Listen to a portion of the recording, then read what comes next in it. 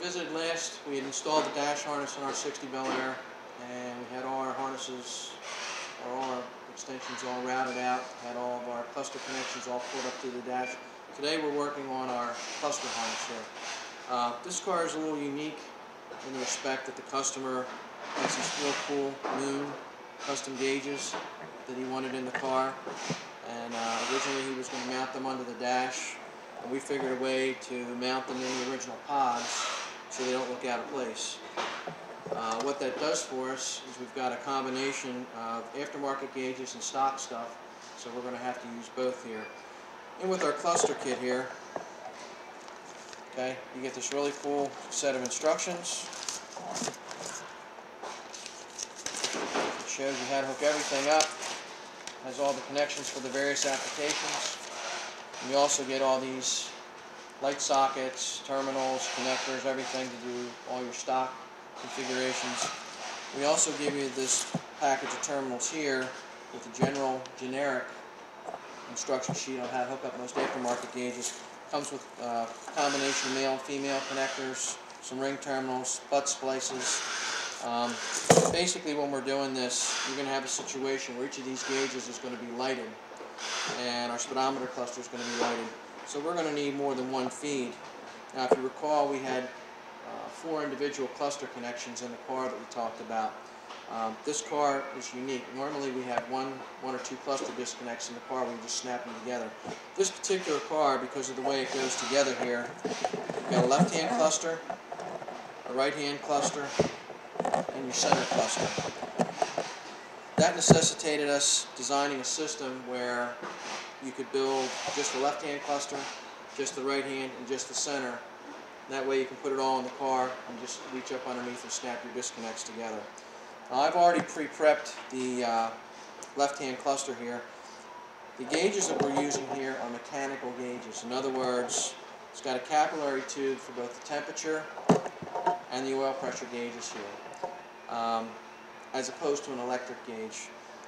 In the cluster kit that comes with your harness, it gives you all the wires, and they're actually already plugged into this connector. I've taken the liberty of pulling them out because we're not going to need the 12 volt feed, we're not going to need the brake warning light, we're not going to need the temperature and the oil pressure because we're running strictly mechanical gauges and they're all aftermarket. All we need for this particular application here is the lighting. So I've taken the harness, pulled the unnecessary wires out, and I've hooked these up so we're going to put these into the connector here, or into the housing I should say. And these will be all done. Alright, this particular left-hand cluster right now is ready to snap into the car. We'll route this down through the hole in the dash, we'll route the oil pressure line down through the hole, we'll plug this into our left-hand cluster connector, and you'll see we've got real nice flowing lines here so that nothing's all tangled up and, in a mess. We're going to put this one aside for right now. Uh, I've already prepped my right-hand pod, which has our fuel gauge and a voltmeter in it. In an original application, we would have had a fuel gauge and a blank, or a clock in here. Uh, the AAW cluster kit does come with the yellow power wire for your clock. Again, I've not installed that in the connector here because we're not going to use that. This particular application, we're going to need a feed for both the gauge and the voltmeter. We're going to need a ground for the voltmeter lamp. And we're also going to need the ground for the actual voltmeter itself, the mechanical end of it.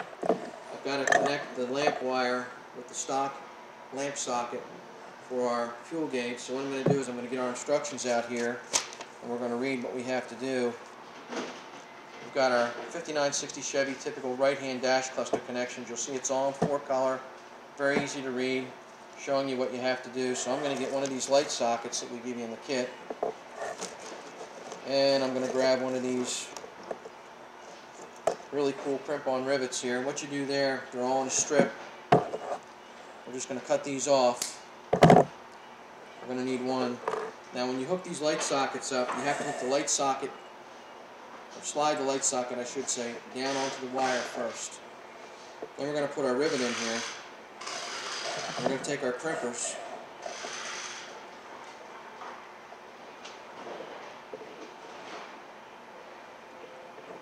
Install our wire in there. We've got a good mechanical crimp there. We have two crimpers that we recommend and two crimpers that we use here in the shop. And that's our 500 649 and our 500 523. These are available for purchase or they are available to be rented. Uh, so right now we've got our two lamp sockets all ready to go. We've got to make our connection for our fuel gauge and we've also got to make our connection to our voltmeter. Now I've already taken the liberty of making our one jumper over to the voltmeter here. So what we're going to need to do is we're going to need to get our terminals out here. What I'm going to do here, since we're coming off the fuel gauge, I'm going to double these together in a terminal.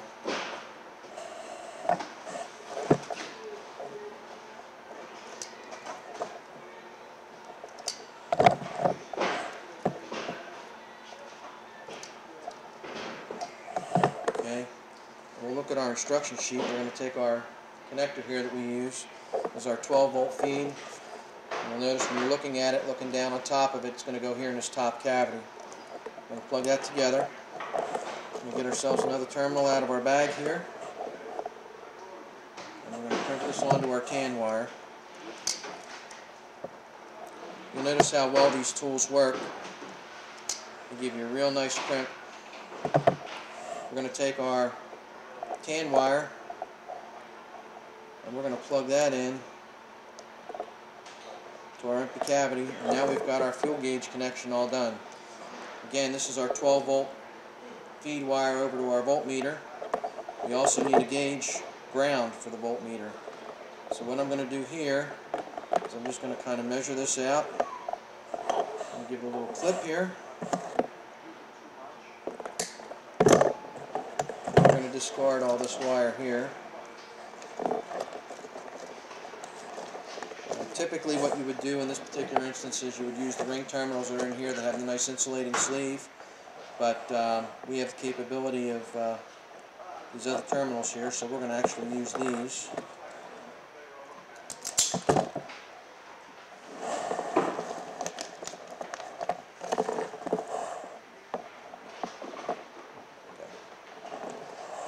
Going to just crimp our ring terminals on here.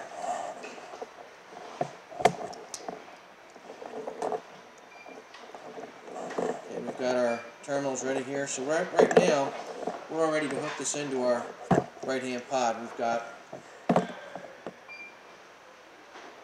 got our light for our voltmeter.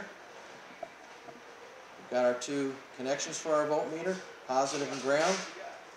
We've got our ground, or our lamp, excuse me, for our fuel gauge. I get a bulb in there before I put this in.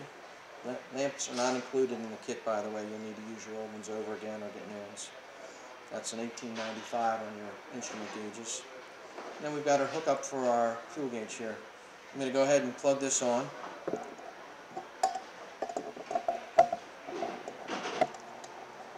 Just notice that this uh, ground wire for this lamp is dangerously close to the positive on this voltmeter. So what we're going to do so that we don't get a short is I just bent this up out of the way so if it does move up underneath there, it won't short on us. Okay, we're going to take our jumper wire here. This is our 12 volt feed for our voltmeter. We're going to put that down onto our positive stud. Using a voltmeter, make sure you pay attention to which one's positive and which one's negative because if you don't, you will blow your, your gauge fuse.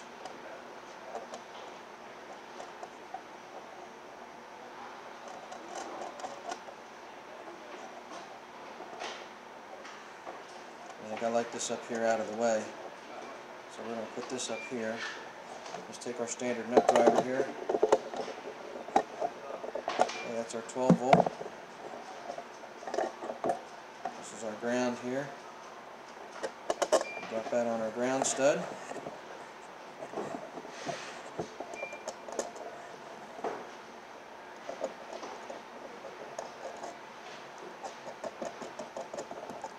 nut on here.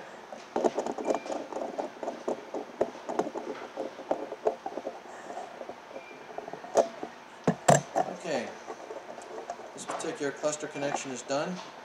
Now, I can't do anything with our lamp here just yet because I got to get a bulb in there. And there's a couple things you can do here. You know, you've got your wire lengths here.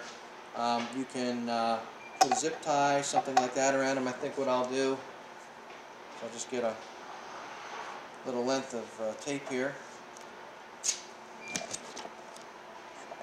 And I'll just kind of neaten this up a little bit.